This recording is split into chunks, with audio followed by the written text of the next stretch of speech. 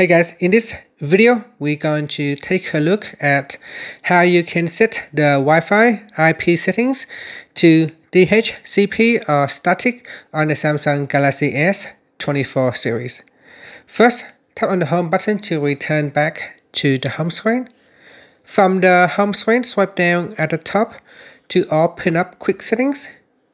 Then in here, tap on the settings icon. Next, we scroll down and tap on connections. In here, tap on Wi-Fi. Then tap on the settings icon right next to your Wi-Fi name. Now go down and tap on view more.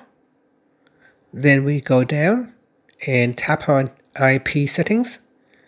From the pop-up, you can choose DHCP or uh, static.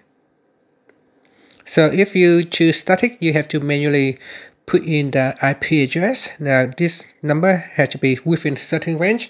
You cannot put in any random number. If you put in a random number, it will not work and cause your device unable to connect to your Wi-Fi and hence you will not get uh, internet connection. So here we've got gateway. So when you manually putting in your static IP address, you also need to put in the gateway that is the uh, Wi-Fi router uh, IP address. So you need to put in the correct number.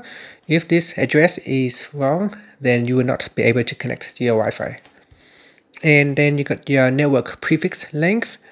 And you can also set your DNS down here as well.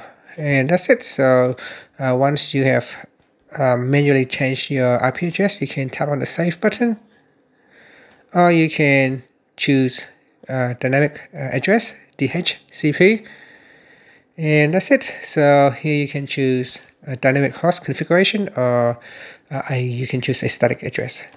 And after that, you can tap on the home button to return back to the home screen. Thank you for watching this video. Please like and subscribe to my channel for more videos.